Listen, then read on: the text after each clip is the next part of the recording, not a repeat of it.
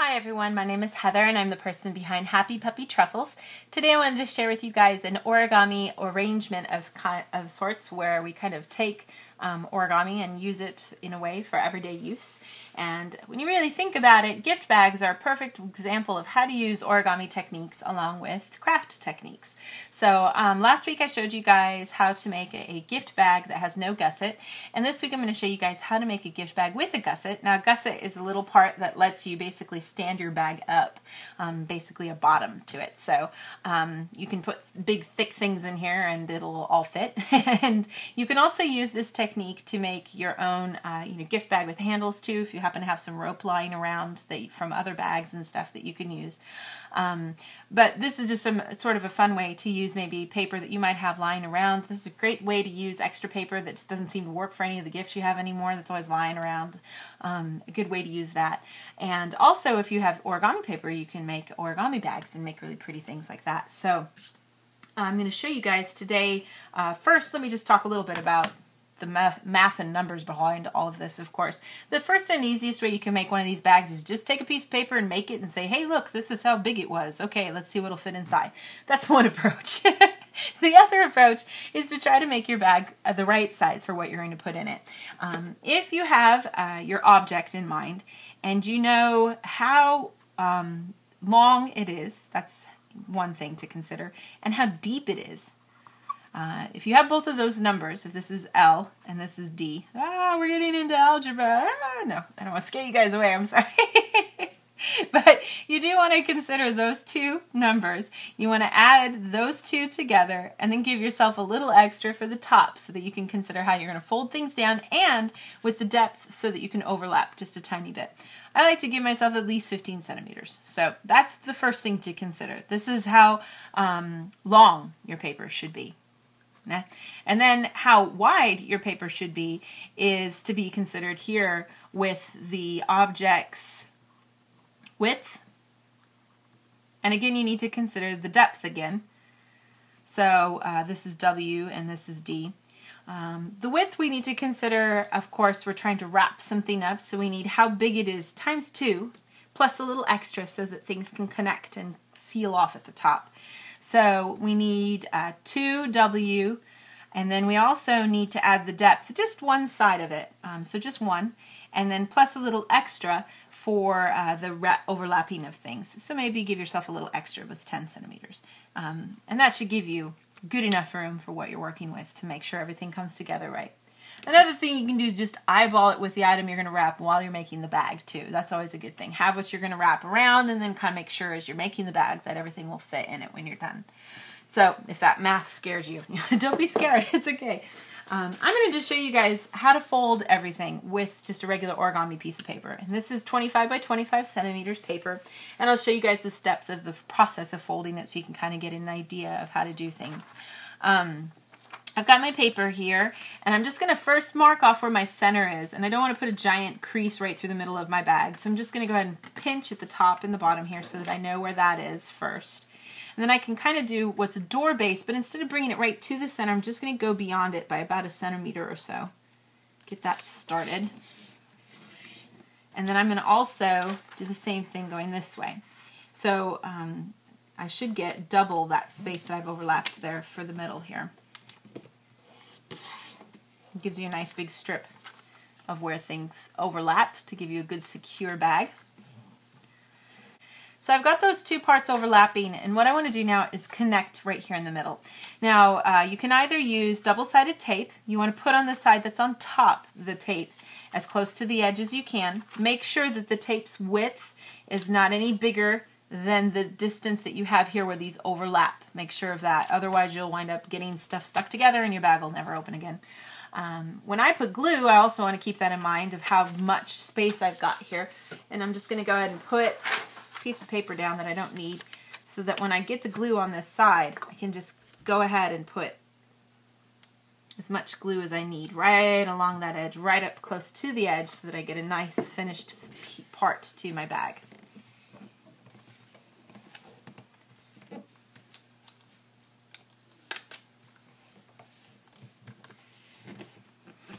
So you get a nice closed off part to your bag there. And then we're going to go ahead and fold up the bottom, and this is where you can kind of think about how deep whatever it is you're going to fold. When you fold something up, you're going to be creating basically the depth of the bag, minus just a little bit at the top where things overlap. So you can kind of consider that when you fold this part up. So I'm going to go ahead and fold up now along the bottom edge here to kind of show how far and how deep I want my bag to be. Once you've folded that up, then go ahead and open things up here and put down a little pressure on the side so that this part can open up and reveal a nice little triangle here. And I'm going to do the same thing on this side too. Then I'm going to take the bottom part and fold it so that it goes beyond the center by a little bit. And you know you don't want to go too far on this because you did consider just a little bit of overlap space, not a lot. And then I'll take the other side and fold it too, and you can bring, this is a little hard to see with the red paper, you can bring it so that this edge meets right at the center where that little creased edge is. That's the way that you get a nice balanced gusset down here at the bottom. Try to get everything as parallel as you can. And then I'm just going to go ahead and secure this edge here with a little bit of glue. And again, you can use a piece of paper there to make sure you don't get glue all over the rest of your project. And I don't want a lot of glue extending too far because it's just really the tip that's going to hit here. So I'll get that part glued off.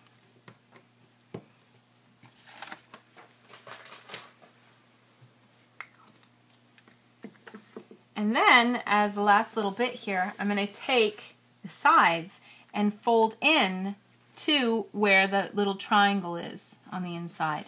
And this is going to help create the side that I need to create the creases for the side of my bag. So I'm just going to kind of go along here, get a good crease going and do the same thing over on this side too.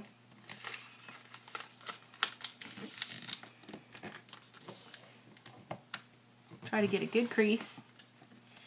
And then we're going to go ahead and open it up. And this is going to be the base, of course. Make sure the glue's dry before you try popping everything open. You can see we've got the bottom down here and then the sides.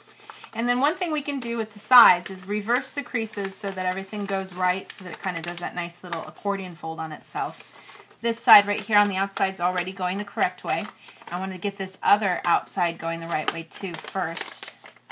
And then I can just fold those two together, reversing that middle crease to become a valley so that I can get this to come together. Now, there is a fancy little thing to do down here, and you can choose if you want to do that or if you just want to kind of leave it. You don't necessarily need to do it unless you plan on collapsing the bag later. I'm going to just kind of leave it like this so that it doesn't need to be too much of a hassle. And I'll do the same thing over on this side too.